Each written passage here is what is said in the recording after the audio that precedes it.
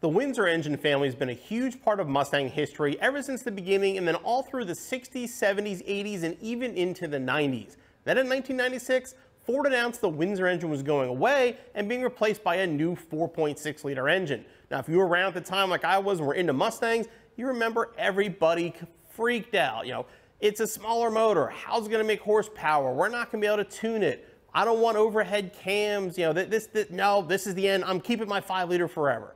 And a lot of people were afraid of the modular engine, and a lot of Ford enthusiasts kind of turned their back to it. But over the years, we've learned to accept the modular and even realize that, you know what, it's a really good engine, and it's going to power Mustangs for a long time to come and be able to make a lot more power a lot easier than these old engines. So today we're talking about the history of the Ford modular engine.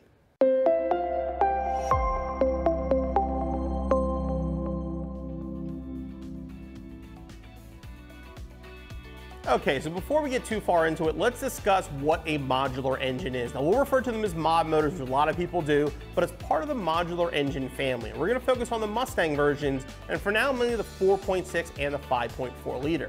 Now, what is a modular engine? Well, it is a small block V8, just like the previous 5 liter pushrod engine. The difference with the modular engine though, is the cams are not located in the block, they're now overhead cam engines, which means the cam is located in the cylinder head. Now there's gonna be two versions we're gonna talk about, your single overhead cam, which has one cam per cylinder head, and your dual overhead cam, which has two cams per cylinder head. Now, why is it called a modular engine? Well, a lot of people think that's because it's designed to be interchanged, where you can put these heads on this block and move these parts around, and the bell housing from a 5.4 will fit a 4.6 and stuff like that. A lot of that's true, but it's actually not the reasoning. Ford uses the modular term for the production of the engine. The tooling and the stuff used to produce the engines allows them to be much easier to swap out from platform to platform and from engine to engine. So basically, there's a lot less downtime for tooling changes because they share a lot of the tools and a lot of the pieces used to put these engines together, hence the modular name. So again, it's not about interchangeability of parts, it's basically about how the engines are being built and how they're being assembled and installed in vehicles on Ford's production line. Ford began working on the modular engine family back in the 80s, and the very first vehicle to receive one on the production line was the 1991 Lincoln Town Car.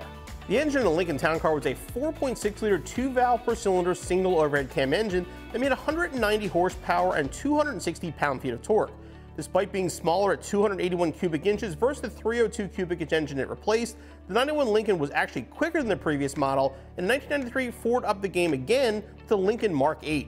The Mark 8 came with a 4.6 liter engine, but now it was a 4 valve per cylinder dual overhead cam engine, and this high-tech engine featured an Italian-made aluminum block and made 280 horsepower and 285 pound-feet of torque. Ford also made a front-wheel drive version of the dual overhead cam engine used in the 1995 Lincoln Continental. And in 1996, the 4.6 liter became the standard engine in the Ford Mustang. When the 4.6 liter engines arrived in Mustangs, Ford fans just really weren't ready for the technology, as the only other time you saw that technology in the sports car world was in the V8 Corvette ZR1, which was a rare and very expensive car. In comparison, the outgoing 1995 Mustang with a 5 liter engine made 215 horsepower and 285 pound-feet of torque in GT trim, and 240 horsepower and 285 pound-feet of torque in Cobra trim. The new 96 GT got the single overhead cam version of the 4.6 modular engine and came in at the same power ratings as the GT50 at 215 horsepower and 285 pound-feet of torque. But most tests found the GT to actually be slower than the previous model because a lot of the bottom end torque wasn't there that they were used to from the previous pushrod engine. All of that changed when the dual overhead cam 32 valve Cobra showed up. The newest Cobra now came with an aluminum block, four cam 32 valve heads, and they were all hand built. This motor made 305 horsepower and 300 pound-feet of torque, making it far more horsepower and torque than the previous pushrod engine. Owners also quickly realized that these Cobra engines love to rev, and a gear swap to anything starting with a 4 made these cars quite quick for their time.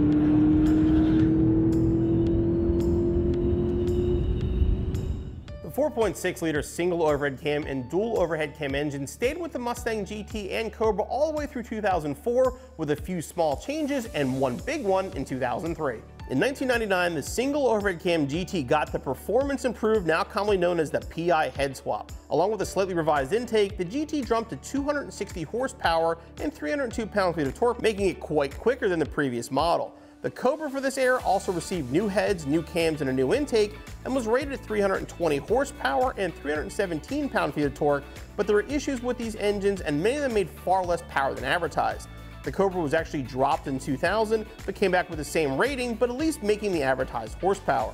After another year off in 2002, Ford changed the game in 2003 with the new Mustang Cobra. Featuring a revised 4.6-liter dual overhead cam engine, along with a Roots-style supercharger, the Terminator, as it became known, packed 390 horsepower and 390 pound-feet of torque. Unlike the 99 Cobra, many of 3 owners actually found more power than advertised, and the durability of this engine, along with the ease of modifying it, made the 0304 Cobra into the legend it is today. In 2003, Ford also offered a naturally aspirated version of the 4.6 dual overhead cam, making 305 horse and 320 pound-feet of torque in the Mustang Mach-1. 2005 was a huge year for the Mustang with an entirely new model being launched featuring retro looks and a brand new modular engine, the 4.6 liter 3 valve. Like the outgoing GT engine, the 3 valve was a single overhead cam engine, but the 3 valve had two intake valves and one exhaust valve which improved airflow. It was also the first mod motor with variable cam timing that allowed the cam to retard or advance timing, which offered even more power and throttle response. Speaking of throttle response, it was now a throttle by wire, so there was no more cable going from the gas pedal to the throttle body, it was all done electronically. Did that add up to? 300 horsepower and 320 pound-feet of torque. These were the numbers that the naturally aspirated Cobras were making, and now it's coming in your Mustang GT. So what about the Cobra? Well, the Cobra name went away and was replaced by the 2007 GT500. Just like the 2003 Cobra, Ford went all in with the new GT500 and wanted to dominate the performance market. The GT500 received a 5.4 liter version of the mod motor and was topped with dual overhead cam 32 valve heads. Ford engineers also said that wasn't enough and topped it with an Eaton Roots style supercharger. The result 500 horsepower, 480 pound-feet of torque, making it the most powerful production Mustang ever built. As we all know, making a lot more horsepower with a 5.4-liter GT500 is not at all difficult to do. So that brings us to 2010. The Mustang got a complete refresh, but the 3-valve 4.6-liter stuck around for one more year because we knew Ford had something coming down the pike, and what was that engine? We all know it, the Coyote. Now the Coyote was an absolute game changer for Ford, so much so that we think it actually deserves its own video. So if you haven't already, click that subscribe button, keep it here for future tech talks, including our upcoming video on one of the greatest engines Ford ever produced, the 5-liter Coyote.